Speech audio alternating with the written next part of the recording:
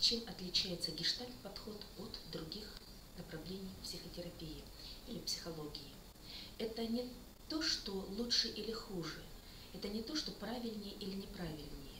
В каждом подходе есть свои изюминки, есть свои прелести. И каждый психолог, выбирая свой подход, он находит что-то свое. И каждый, каждый подход имеет результаты в работе. Чем отличается гештальт и чем особенности гештальта? И именно этим близок мне этот подход.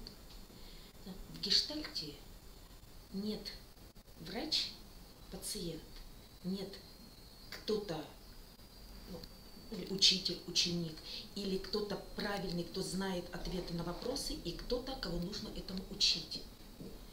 В гештальте отношения равные. Человек – человек.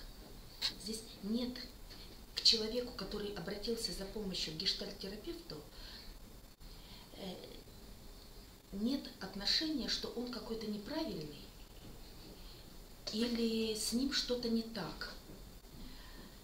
Каждый человек – это совершенный человек. Это как бутон розы. Нельзя же сказать, это бутон розы – это несовершенная роза. Правда? Бутон розы, он прекрасен и он совершенен.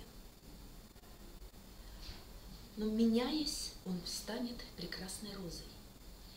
И вот в гештальте человек, обратившийся, и гештальт-терапевт – это позиции равных. Это встреча, это встреча двух людей. И на этой встрече есть возможность больше распознавать себя, больше распознавать свои возможности. Здесь больше не про переделывание себя или переделывание другого человека.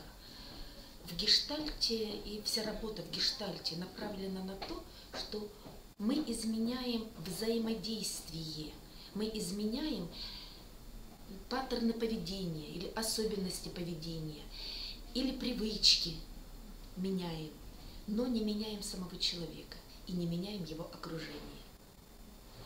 А когда приходит осознавание, что я делаю что-то привычным образом, не потому что я так хочу, а потому что или не замечаю, почему, что я так делаю, или не знаю, как делать по-другому, тогда появляется возможность что-то делать по-новому.